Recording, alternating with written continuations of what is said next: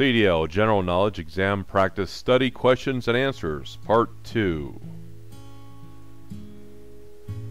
Hi, I'm Barry Branton. Thank you for watching my video. I really appreciate it. Would you please subscribe to my channel? I would really appreciate that so very much. And if you would do that, would you please also enable notifications so you can be updated on newly released videos.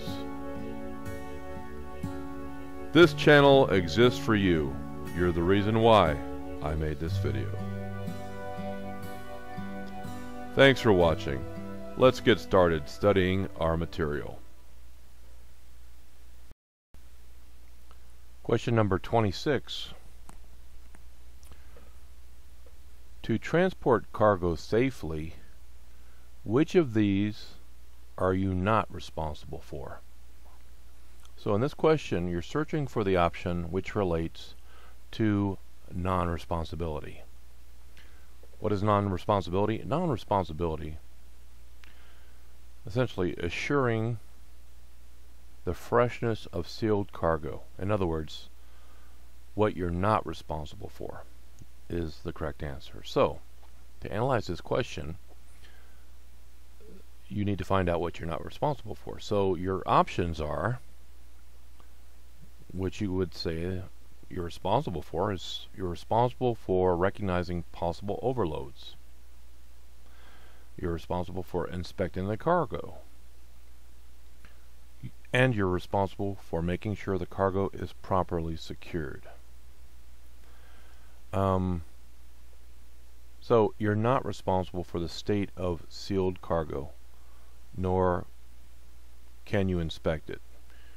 You are only responsible for the safety of the cargo, ensuring that it is balanced, secured, and not overloaded, and does not get in the way of emergency equipment.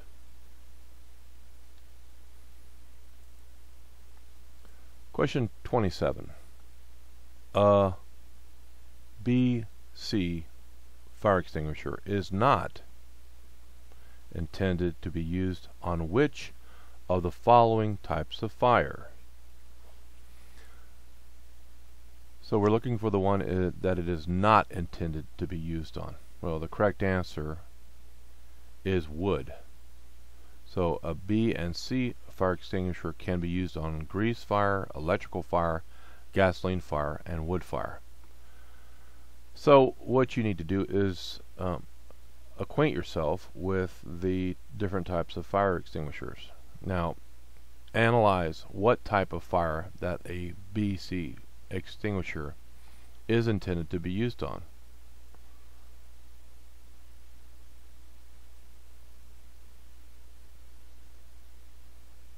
Okay. Um, you cannot use an, a BC extinguisher on a wood fire. Um, a wood fire, uh, water would be the best thing probably to put that out. Um, explanation. A BC fire extinguisher is not for use on anything that you can normally use regular water on, which includes wood, paper, and cloth. These require a ABC fire extinguisher or just an A fire extinguisher. Okay, now so we have the a breakdown on the different types of fire extinguishers here. We have A, which is for trash, wood, paper. Fire extinguishers with Class A rating are effective against fires involving paper, wood, textiles, and plastics. The primary chemical used to fight these fires is monoaluminum phosphate because of its ability to smother fires in these types of materials. I'm not so sure about using water on plastic, my personal opinion, um, but I suppose you could do it.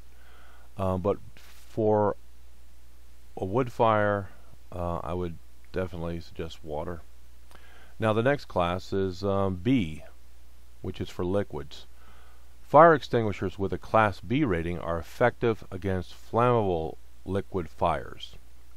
These can be fires where cooking liquids, oil, gasoline, kerosene, or paint have become ignited.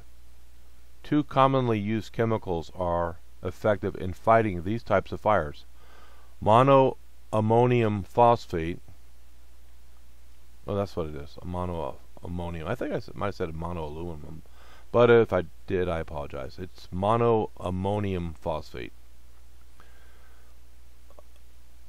While sodium bicarbonate includes a chemical reaction which extinguishes the fire. Sodium bicarbonate is um, baking soda. Okay, and uh, lastly we have cl uh, Class C, electrical equipment. Fire extinguishers with a Class C rating are suitable for fires in live electrical equipment. Both monoammonium phosphate and sodium bicarbonate are commonly used to fight this type of fire because of their non-conductive properties. Okay, I think that's it on the uh, explanation. Let's take a look at the next question. Question number 28. How many seconds does it take for a normal tractor trailer to clear a double track? The correct answer is more than 15 seconds. The explanation is you can expect it to take more than 15 seconds for a regular tractor trailer to clear a double track and 14 seconds to be safely over a single or to be over a single track. Okay. Number 29. An anti-lock braking system will, correct answer, keep your brakes from locking up when you brake hard. And the explanation is ABS only really kicks in to save you from over braking and will not change the way you normally brake. It doesn't stop you from needing to engage in careful braking and defensive driving and is no substitution for good brakes and maintenance. It will, however, save you from having your brakes lock and getting in an accident. Question number 30.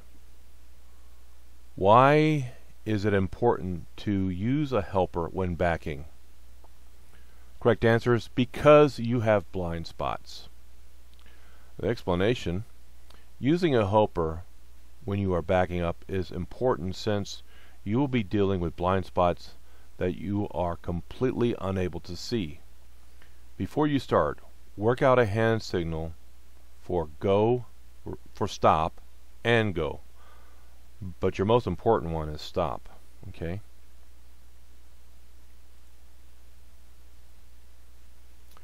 Question 31. Always try to back toward the driver's side because correct answer you can see better watching the vehicle rear out of the side window. The explanation is you should always back toward the driver's side because you will be able to see things much more easily.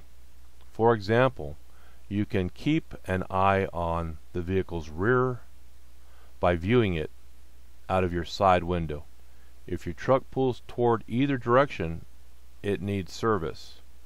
Your next comfort should not affect your safety decision. Hmm, pardon me. Okay, question number 32. How can you determine if your vehicle is equipped with ABS? Now in this particular situation, all the answers are correct. So let's go over each one. Check if your vehicle was manufactured after March 1st, 1998. They are required to have a panel light. Second option, check for yellow ABS malfunction lamps on the instrument panel. And final option, look for wheel speed sensor wires that are coming from the wheel the pardon me, from the rear of your brakes. And again, all these are correct. The explanation is most vehicles now will have a light on the instrument panel that will illuminate briefly when the vehicle is started to alert you about the ABS, but you can always check for wires from your brakes. Question 33. The definition of hazard is, and the correct answer is, a road user or road condition that could be a possible danger.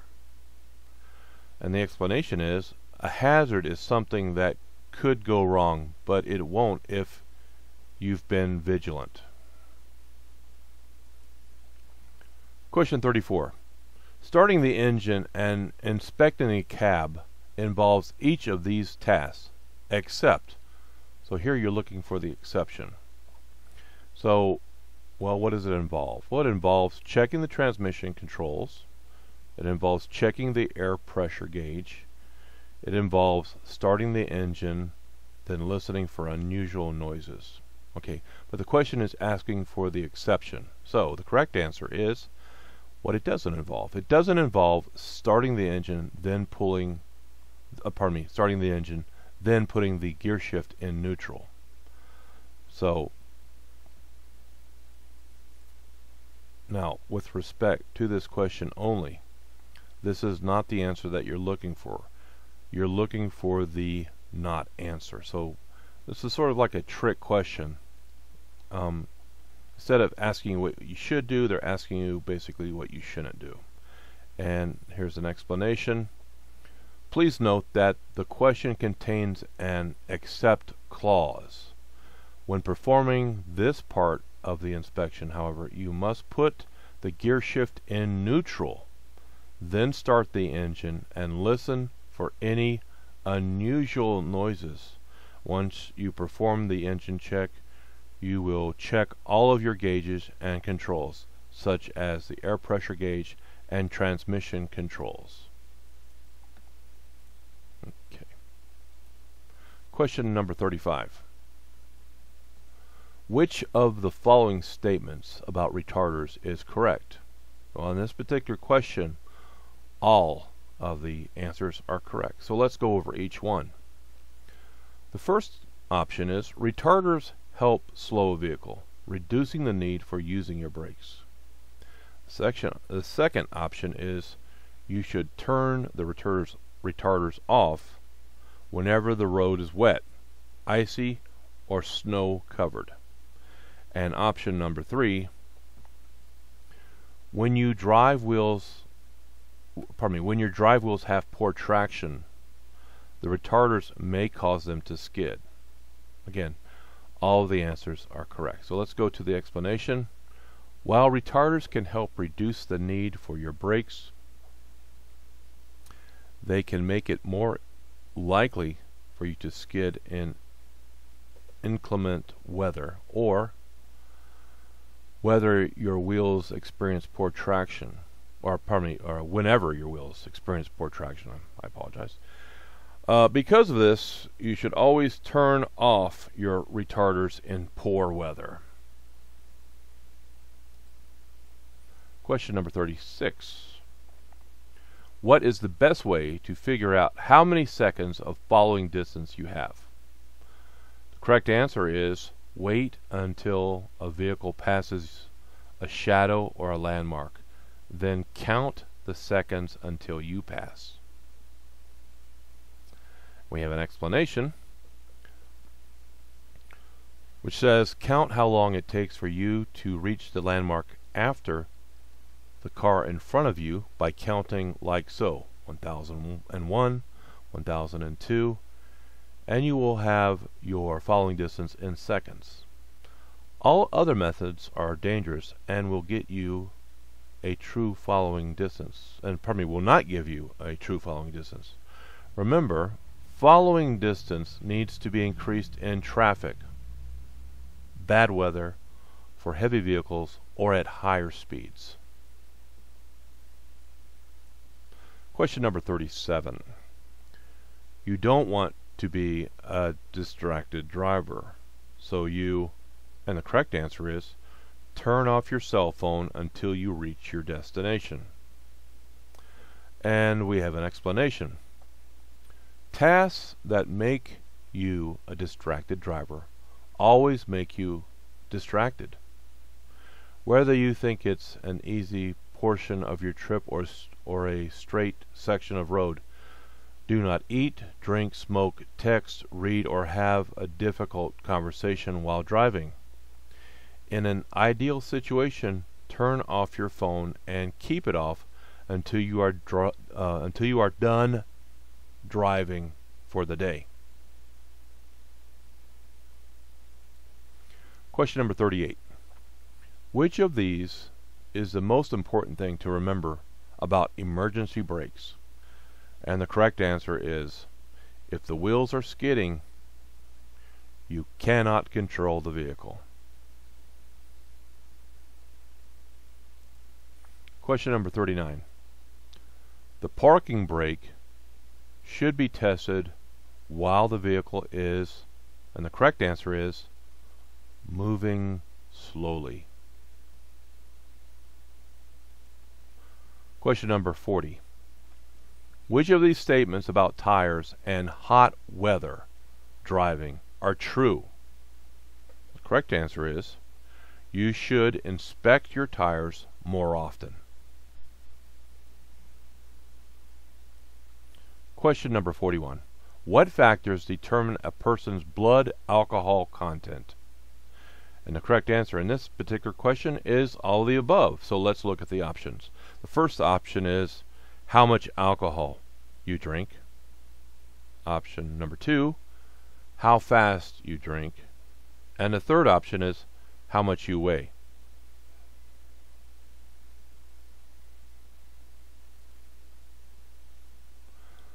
Question number 42. Hazardous material placards are, and the correct answer is all the above. So let's look at the correct options that we have.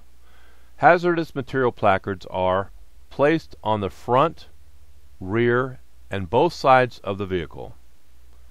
Second option, 10 and 3 quarters inches square. And the third option, turned upright on a point in a diamond shape. All of these are correct. Question number 43. True or false? When fighting an engine compartment fire, it is best to lift the hood in order to target the fire's base. Correct answer is false.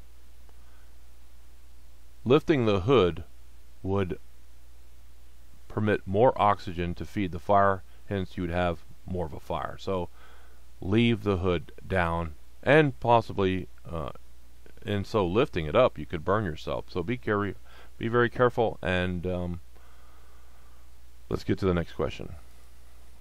Question number 44. What are the three rules for using your turn signals? The correct answer is 1.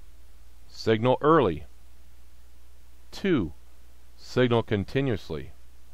And 3. Make sure the signal turns off after the turn is completed. Question number 45.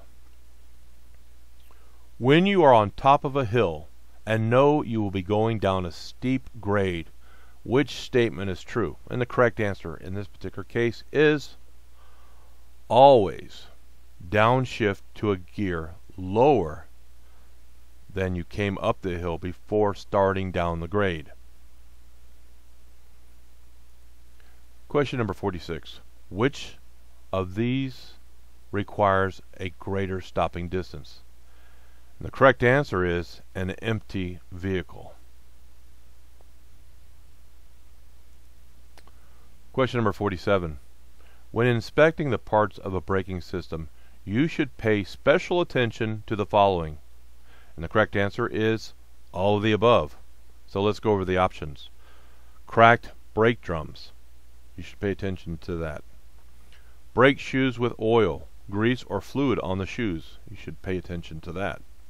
Broken, missing, damaged, or heavily worn shoes. You should pay attention to that. So all the above answers are correct. Question number 48. When caring for someone who is injured, you should, and in this particular uh, uh, question, all of the answers are correct. So let's go over the options. Option number one only move them if they are in danger from fire or traffic. Option number two apply direct pressure to any wounds. And option number three keep the injured person warm. So all of the above are correct. Question number 49. For an average driver driving 55 miles per hour on a dry pavement, in order to bring the vehicle to a stop, it will take about, and the correct answer is, the length of a football field. Question number 50. You are driving a 40 foot vehicle at 45 miles per hour. Driving conditions are ideal dry pavement, good visibility. The least amount of space that you should keep in front of your vehicle to be safe is the distance you would travel in, and the correct answer is 5 seconds.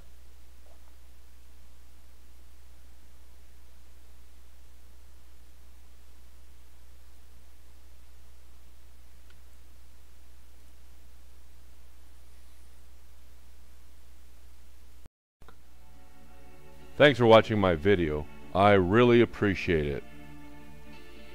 Would you please smash the like button for me? I would really appreciate that too. I really value your questions and comments. Please let me know how you're doing. Please stay tuned for my video recommendations.